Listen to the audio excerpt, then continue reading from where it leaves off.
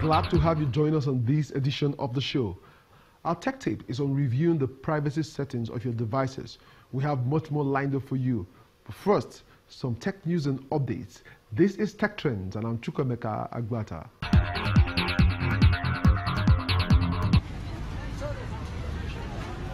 Big Brother is watching, but in the future, he may no longer be so all knowing. Riding the wave of a global push to comply with new privacy standards, a small Israeli company believes it can help you and your face stay anonymous in a hyper connected world. The startup called DID says it has developed a firewall to block facial recognition. The ubiquitous technology that can now unlock smartphones, tag friends on Facebook, or help police pick out an individual hiding in a crowd. The problem is that with facial recognition on the rise, hackers have a new target huge reservoir of profile pictures linked to personal information. Companies around the world are spending big money to protect such databases before a stricter European law takes effect in May. Called the General Data Protection Regulation, it gives people more control over their online information and applies to all groups that do business in Europe. The idea for DID took shape a decade ago when two of its founders took a trip to South America after serving in Israel's special forces. Friends would post pictures online, but because of their previous jobs, they were forbidden from sharing pictures publicly in case they were recognized. They began looking for a way for people to share pictures while protecting their identities, and a year ago formed the company.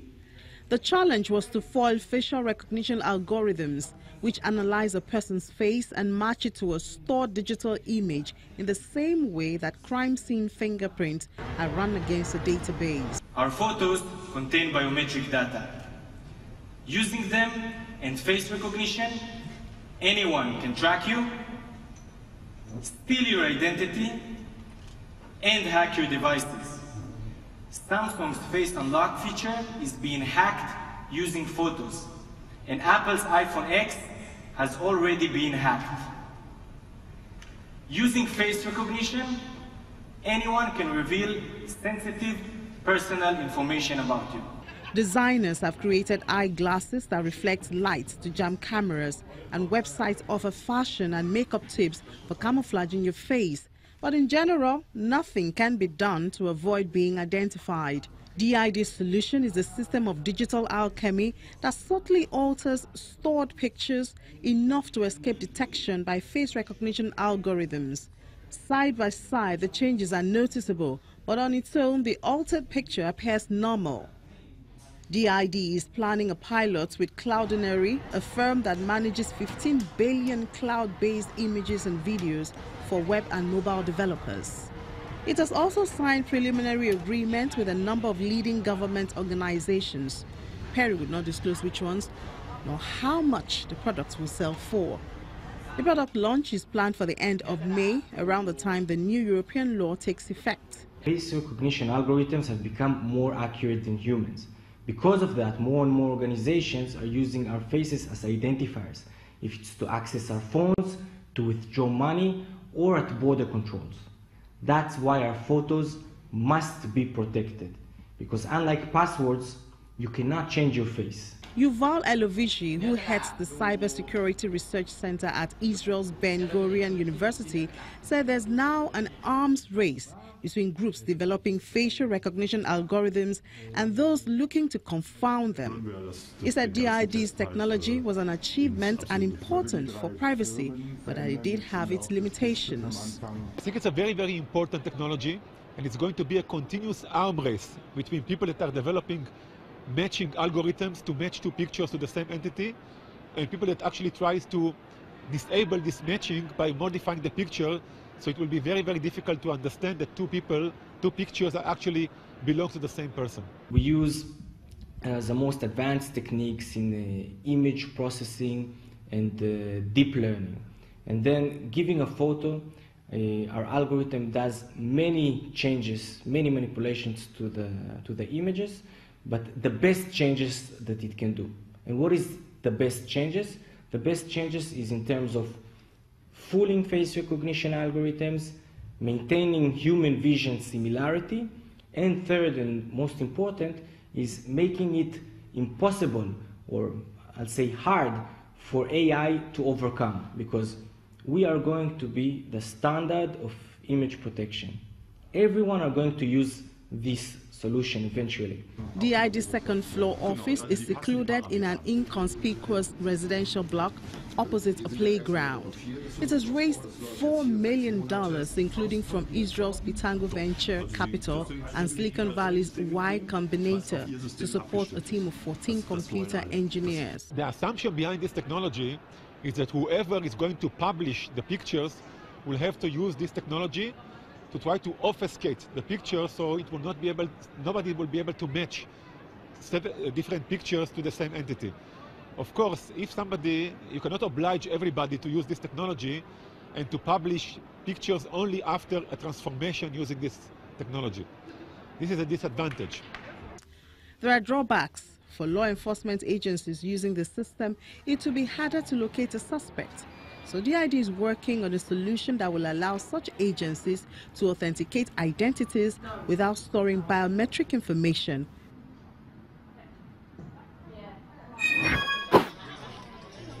At Wakefield High School in Arlington, Virginia, 12 grade students comb through news articles and social media content over their laptops using a digital curriculum called Checkology, developed by Bethesda-based non-profit news literacy project.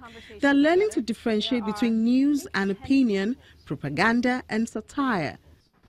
Everybody's on? Their teacher, Patricia Hunt, uses current news affairs such as immigration and government shutdowns, as well as social media posts and television shows to teach them signs of a fake or legitimate news item. Hunt says she's been teaching students to be savvy news consumers for the last 25 years. The explosion of social media and a rise in fake automated accounts called bots that spread false information like wildfire during the elections was a wake-up call to ensure the fight against fake news for the digital age.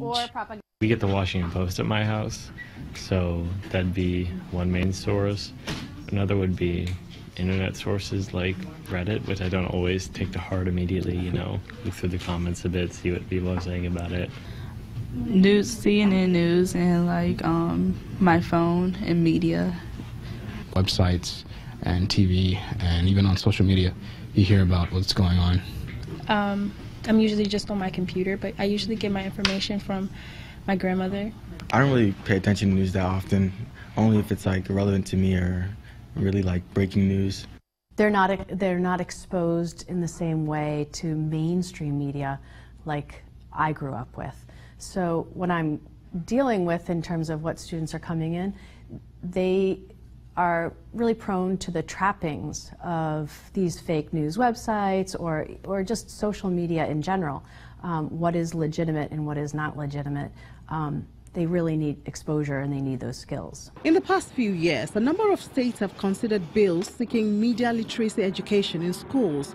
According to advocacy group Media Literacy Now, the momentum built rapidly after the election as lawmakers recognized the urgency of such classes in the face of sophisticated misinformation and propaganda campaigns.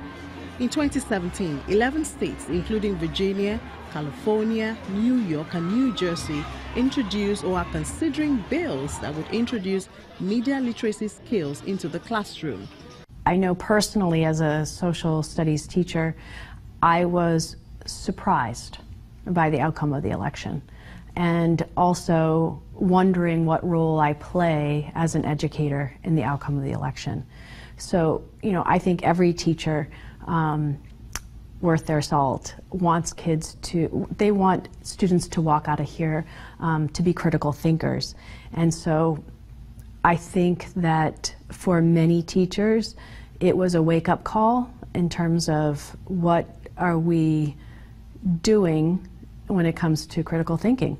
The term fake news gained currency as a buzzword during the 2016 U.S. presidential election.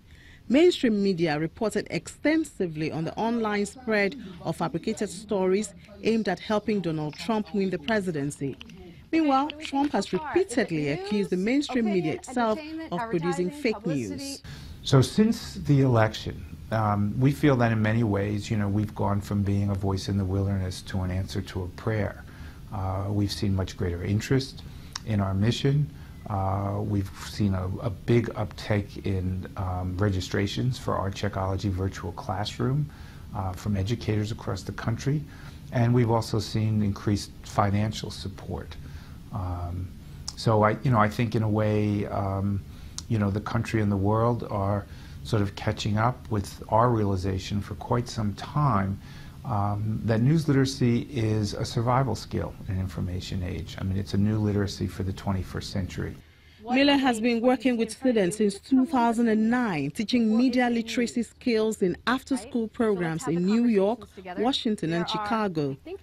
Post 2016, he noticed a sharp spike in interest and support for his mission, including huge financial donations from Silicon Valley. You know, this is a, the equivalent of a public health crisis, and it's been brewing more beneath the surface for a long time now, certainly for the decade in which we've been working. I think that, that the election and the aftermath and the focus on what's called fake news, you know, has really elevated the profile as an issue. But it's, it's, it's the technology, the, te the profound technological changes um, and the way that people, you know, the, the access they have to information and the, and the challenge of, of sorting the informational wheat from the chaff that have really made this such an urgent matter. Miller says Checkology, launched in May 2016, now reaches hundreds of thousands of students in 81 countries, with more than 11,000 educators in the United States alone who have registered to use the virtual classroom program. And it's not just educators. Hunt says some of her students start the year being cynical about what they see on the news, but then find themselves engaged and confident in their ability to make informed opinions about the events shaping their world.